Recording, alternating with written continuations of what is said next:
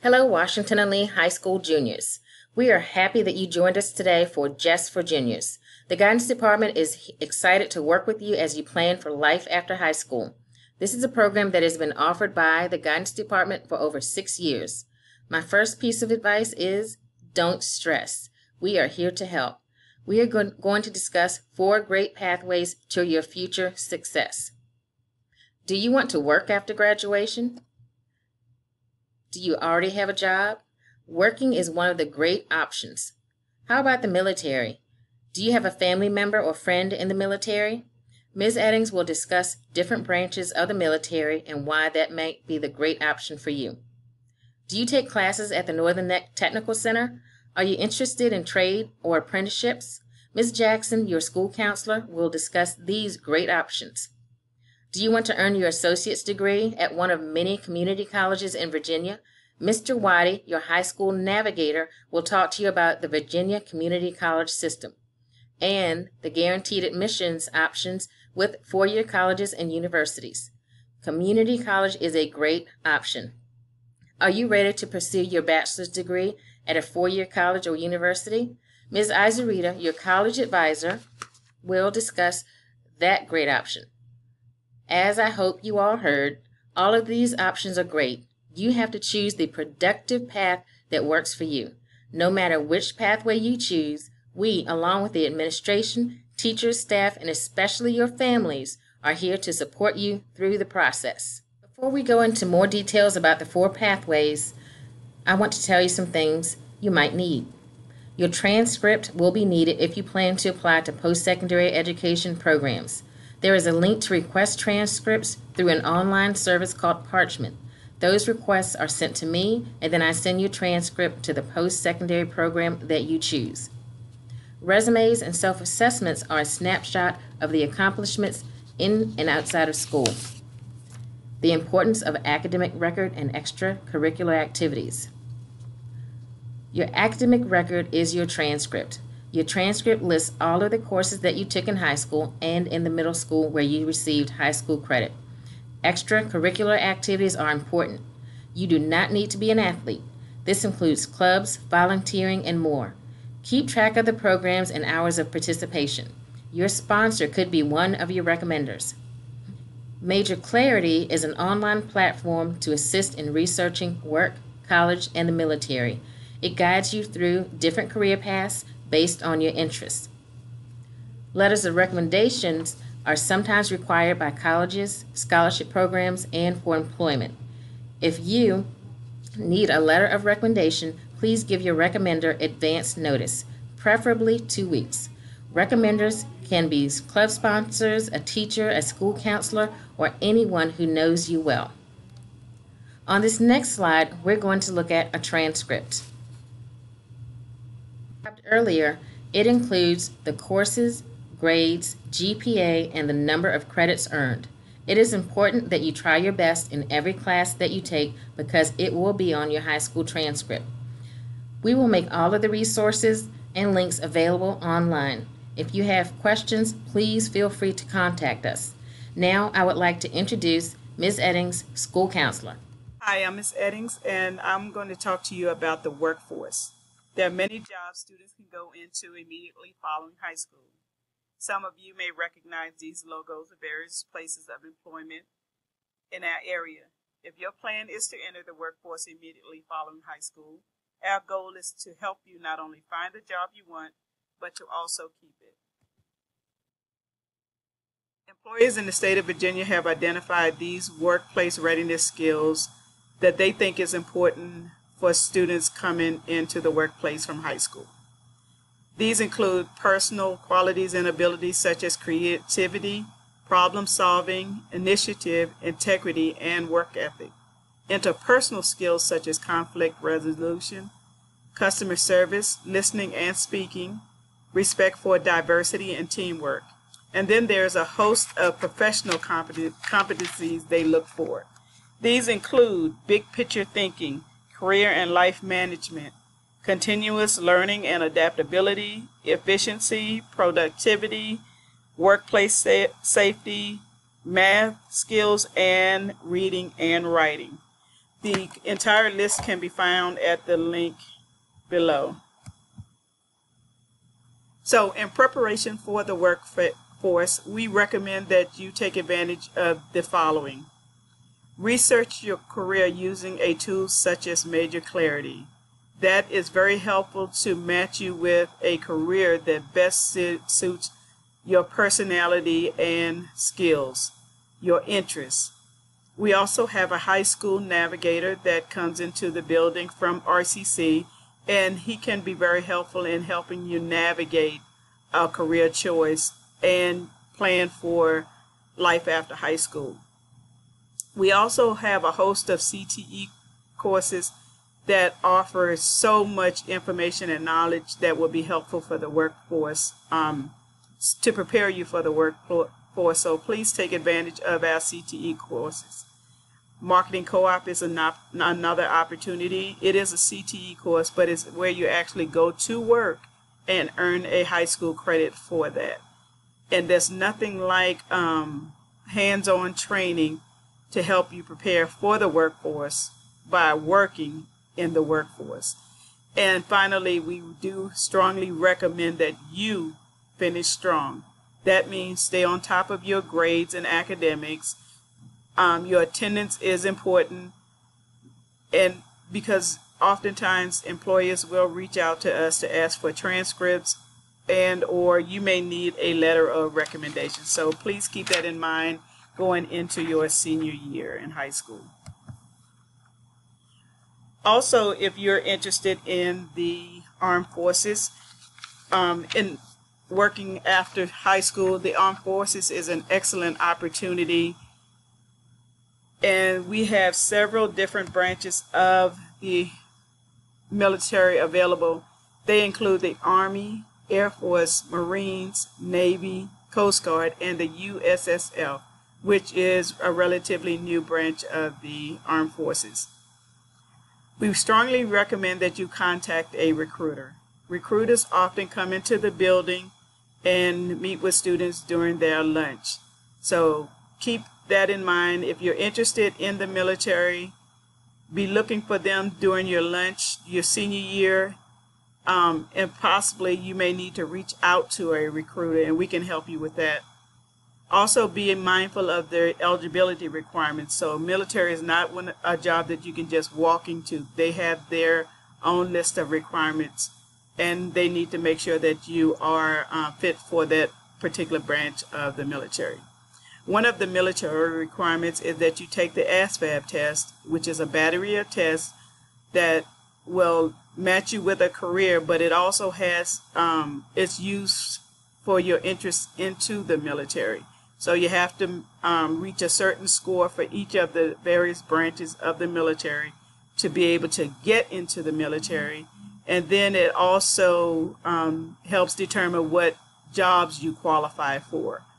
So keep that in mind as, as a, an eligibility requirement is your score on the ASVAB test. Military jobs um, vary. They have so many different jobs in the military. Ideally, um, a job that you would want in the military is one that would transfer to life outside of the military. So if you decide you're going to only do a few years you want a job that when you walk out away from the military, you can walk right into another job. So, but they have so many jobs that they have doctors, nursing, mechanics, truck drivers. So oftentimes the same jobs you see in the outside sector, they have those in the military as well. Some of the um, benefits include the pay, um, travel, health benefits. So there's many benefits that are associated with the military. And then we have the ROTC program. That's not offered here at our high school, but oftentimes high schools do offer the ROTC program. Um, and colleges do as well. So if you're thinking about the military after college, you may want to enroll in an ROTC program while in college to help you prepare for the military. Thank you. Hi, I'm Miss Jackson, and I am one of the school counselors here at Washington and Lee. And I'm just going to share some information about technical schools and apprenticeships and what you can do during your senior year if you're interested in either of these pathways.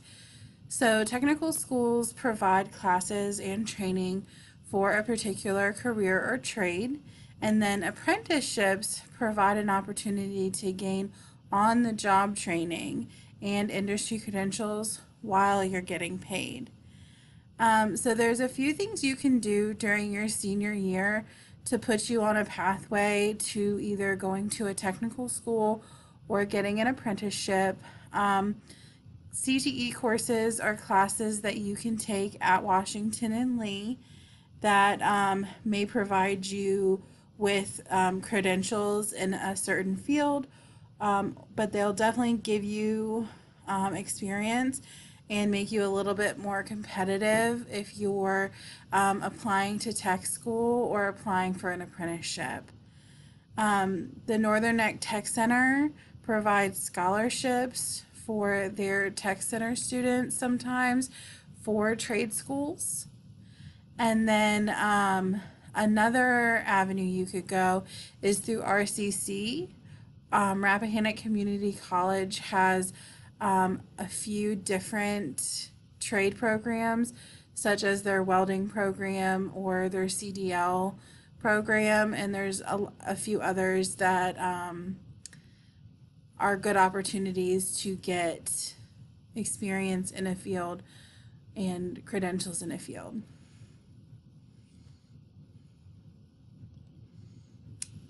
So, is technical school or an apprenticeship a good fit for me? Um, so, technical schools and apprenticeships can be an excellent fit for students who want to go into a specific field, such as electricity or horticulture. Now, if you are one of the students who may be unsure about what you want to do after graduation, that is fine. Um, but you might want to do a little bit more research before applying to a technical school or applying to an apprenticeship just because their training is so specific to a certain field. Um, you may not get um, credentials for other fields or the training to do a little bit more exploring. Um, so typically there's a few requirements when applying for a technical school or an apprenticeship. Um, you need a high school diploma or equivalent. Typically, um, they do prefer a high school diploma though. You need strong work ethic, ability to work well with others, strong written and verbal communication skills, the ability to learn quickly, and the ability to work safely with knowledge and safety rules. So you need to be able to follow the rules and stay safe. Um, believe it or not, y'all are already practicing these um, skills right now. So doing well here at Washington and Lee um, is a great way to practice those skills and show that you have the skills that are required to um, apply to technical school or to be a good apprenticeship candidate.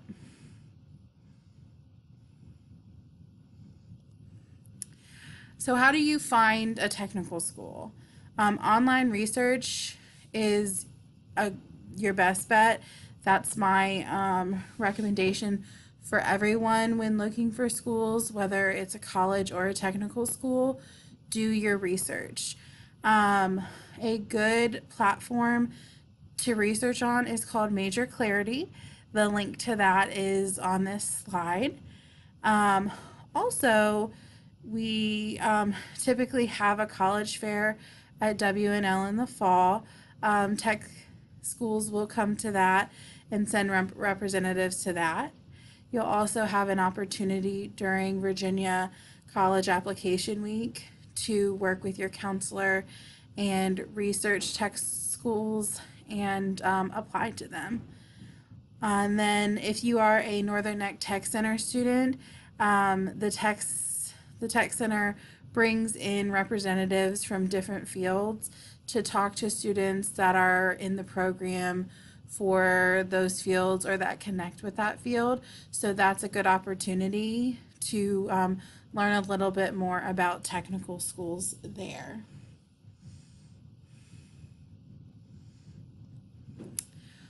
And then, um, how do you find an apprenticeship? Um, once again, online research. You can use um, apprenticeship.gov is a great resource for finding an apprenticeship. Um, and then a lot of the times we will have um, the apprentice school come to the college fair that we hold in the fall usually. Um, and they are a good resource for helping find an apprenticeship as well. And then we always suggest networking with local employers. Um, we typically hold a spring career fair at WNL, and when it's in person, local employers will come and we encourage all of our students to connect with as many employers as possible and show interest in apprenticeships because even if that particular person isn't hiring for an apprenticeship, if you impress them, they may know someone else in their field who is um, accepting applications for apprenticeship and they might be able to connect you with them. So, networking is really important for finding an apprenticeship. Um, so that's all I have about technical schools and apprenticeships. Um, our next information is going to be on two-year colleges, and you're going to hear from our high school navigator from RCC about those. Thanks. Hello, my name is Jawan Wadi. I'm the career coach for Washington Lee High School. Today I'm presenting on the two-year college pathway. First off is dual enrollment. Dual enrollment programs are voluntary and enable students to take community college courses while still enrolled in high school and provide college level opportunities not otherwise available. Dual enrollment courses allow qualified high school juniors and seniors to enroll in college courses during the day and receive both high school and college credit. Students who have previously taken dual enrollment classes do not need to reapply for admission to the institution in which their dual credits come from. You might ask, what are the benefits of dual enrollment? According to the Community College Research Center, dual students have a higher likelihood of graduating from high school, enrolling in college right after high school graduation, pursuing a bachelor's degree, as well as persisting to completion of their degree or certificate program. Next is the Virginia Placement Test. The VPT has two components, English and mathematics. It is required before beginning classes. The VPT will assess your ability in math, reading, and writing. The VPT is a comprehensive test designed to place students in appropriate courses to ensure success.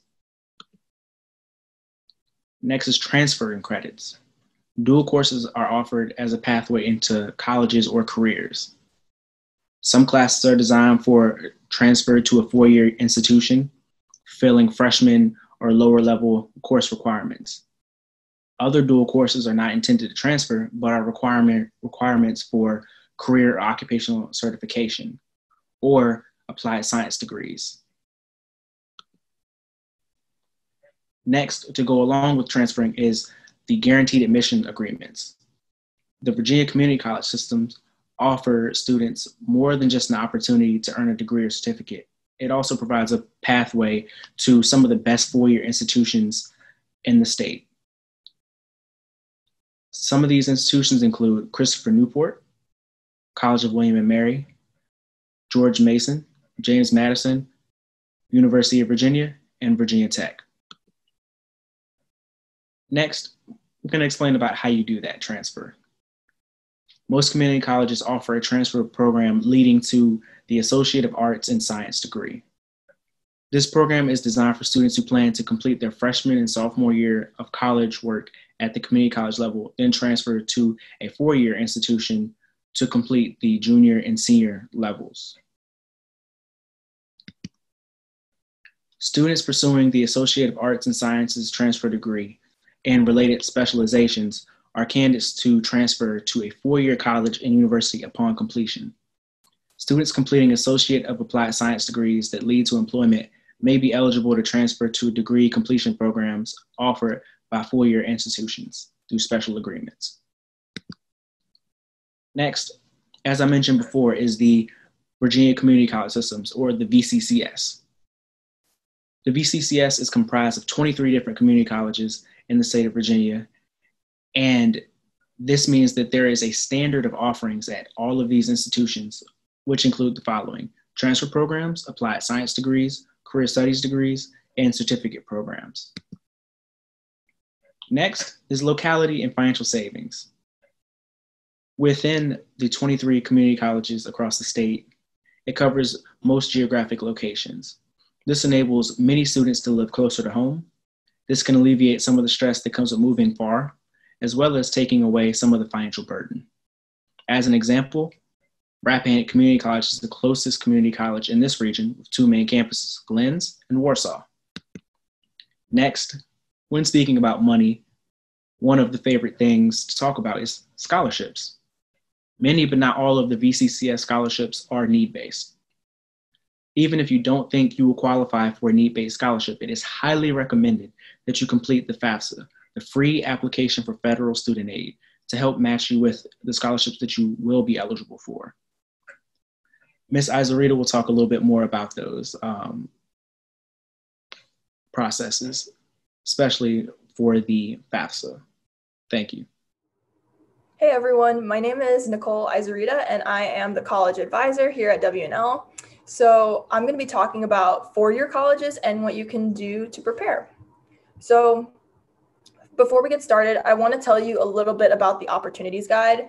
So the Opportunities Guide is a um, college workbook that is released each year and it tells you just about everything that you need to know about the college application process. It's a wonderful resource, so I definitely suggest uh, for students and families to take advantage of this um, throughout their senior and junior year. So the ways that you can access it are first, we have an online PDF version of it that we will share with you all. Um, in a resource resource guide uh, when the this presentation gets released. The other way that you can access this is by obtaining a hard copy. And we do have hard copies available in the counseling department. So you can see either your school counselor or Mrs. Payne if you'd like this um, in a hard copy. Next, so let's get started. We'll talk about building your college list first. So this is a map of all of the four-year colleges in Virginia. As you can see, there's a ton of schools to choose from. So how, how do you narrow down this list? So when you're building your college list, we do suggest that students apply to around three or five schools and to make their college list evenly distributed among safety, match, and reach schools. So, a safety school is when the GPA that you have far exceeds the range that the school is asking for. A match is when your GPA is right about average for what the school is expecting, and then a reach school is when your GPA might be on the tail end of that range, or if it falls a little bit below what the school is asking for. For exact GPA and SAT ranges for Virginia colleges, you can take a look at Opportunities Book page 29 and 30 and start creating your college list based off of the list provided there. So next, we'll talk a little bit about personal statements. So like it says on the slide, there's really no right or wrong way to write a personal statement. However, schools do look for a few things. So they want to see what kind of achievements uh, you've been able to obtain that aren't reflected in your transcript or in the list of extracurricular activities that you provide on your application. Another thing that students focus on are events that have shaped them in, in some kind of impactful way. Overall, the personal statement is just the opportunity for you to shine and show admissions offices who you really are and what you're about. So there is something called the Common Application Essay. So for those who don't know, the Common Application is a platform where you can apply to several schools at one time. It's really great because all of the requirements for each of your college applications are in the same place. It's a really great way to keep yourself organized and it streamlines streamlines the process for you because everything is right in, in one account. So each year they release the common application prompts. This is what they're asking for in this next application cycle. And at this time, I do suggest that students and families pause for a moment, read over these common app prompts or common app essay prompts and pick one or two that really resonate with you and is something that you think you might be able to write about. Draft both of the prompts and then pick from the stronger prompt. Since this is such an important piece of your application, I do suggest that you get a second set of eyes on this essay when you're close to finalizing it. You can bring it to your college advisor. And I know the English teachers are also happy to read over these essays as well. Just make sure that you're double checking and proofreading this before you send it off. So next, we'll talk a little bit about the SAT versus the ACT and the differences between the two exams. The SAT tests reading and math. It's uh, it tests critical thinking and it's content text heavy. It's offered at WNL and a bunch of other Northern Neck schools. So this is definitely widely available to students in this peninsula. On the other hand, we have the ACT, which tests reading, writing, math, and science. So if you're really good at math and science, we do suggest that you try this out because you might score more competitively on this exam because of your math and science skills. This test is also content heavy, so they're testing what you actually do know. And then it is less offered here in the Northern Neck. The only testing site that we've had in the past is RCC. So depending on what RCC's reopening plan is, you might have to test outside of the Northern Neck. I do suggest checking either Spotsylvania, Fredericksburg area, or Mechanicsville, Richmond area. And if you do need help signing up for this exam or finding a testing center, please see your college advisor. So here are the SAT administration dates for the fall. We suggest that students take either test at least twice, just so the first time you can try it out, and then the second time you can try and improve your score. If you haven't taken an SAT the spring of your junior year, we suggest you plan to take twice in the fall. So here are the dates listed. To take the test with the essay is around $60 and to take it without is 46 a lot of Virginia schools don't require the essay for either of these exams. So just check to see what the requirements are for each of the schools that you're applying to, just so that you don't have to um, take the essay if it's if it's not required of you. Also, make sure that you are checking the registration fees for both of these exams because if you don't register on time, there will be an additional late fee slapped onto your um, your total. Lastly, for the SAT specifically, if you qualify for free or reduced lunch, you will be eligible for a fee waiver that gets you two free exams. So if you if that applies to you, see your college advisor or school counselor when you decide to register and they can set you up with a fee waiver. So here we have the ACT um, test dates for the fall of this year. The price points are very similar as the SAT. Again, just make sure that you're checking those registration deadlines so you don't have to pay any additional fees. And for the ACT, if you qualify for free or reduced lunch, you can get two separate fee waivers for this exam, each getting you a free test. So each time that you go and sign up for the ACT, make sure that you see either your college advisor or school counselor to help you register so you don't have to pay out of pocket. So next, let's talk a little bit about keeping track of your student accounts. So when you go through the application process, there are a few accounts that you have to keep track of. So you'll have your Common App account, you'll have your SAT or ACT account, you'll have your two FAFSA IDs for both the parent and student, and then you might have another account here or there. So it's really important that you get all these usernames and passwords straight. So make sure that you write it in your agenda or keep a note saved on your phone just so that you can easily access these passwords. Lastly, I'll talk a little bit about the FAFSA. So the FAFSA stands for the Free Application for Federal Student Aid.